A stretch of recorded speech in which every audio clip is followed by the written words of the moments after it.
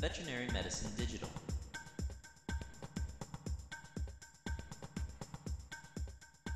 High blood pressure is a problem that affects cats of all ages. Commonly, we think of high blood pressure affecting our older cats due to diseases such as hyperthyroidism, chronic kidney disease, and diabetes mellitus. However, it can affect cats of all ages, especially obese cats. It is important to include high blood pressure measurement as part of your comprehensive health care program. So that way you can pick up on high blood pressure at an early stage before damage is done.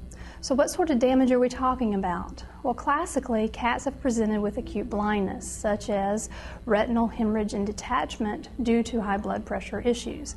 However, high blood pressure can also affect other organ systems, such as the heart, the kidneys, um, and other areas. So, it's important to check blood pressure measurement as part of the yearly exam. When you go to see your own doctor, one of the first things that they do is measure a blood pressure. It's very important to do the same for our feline patients. Blood pressure measurements are obtained using a Doppler ultrasonic device. This device works best for cats and other small patients. The Doppler cuff is placed on the tail or the leg, and then the Doppler probe is used to pick up the pulse. A normal blood pressure for a cat is 145 millimeters of mercury or less. Now, you must evaluate the blood pressure measurement based on the health of your patient. If the cat is otherwise healthy, a reading of 150 or 160 may be considered normal for that animal.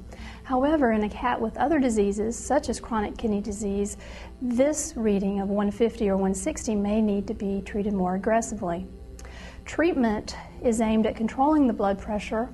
We use drugs such as calcium channel blockers, one example being amlodipine, ACE inhibitors such as benazepril, and diuretics such as spironolactone.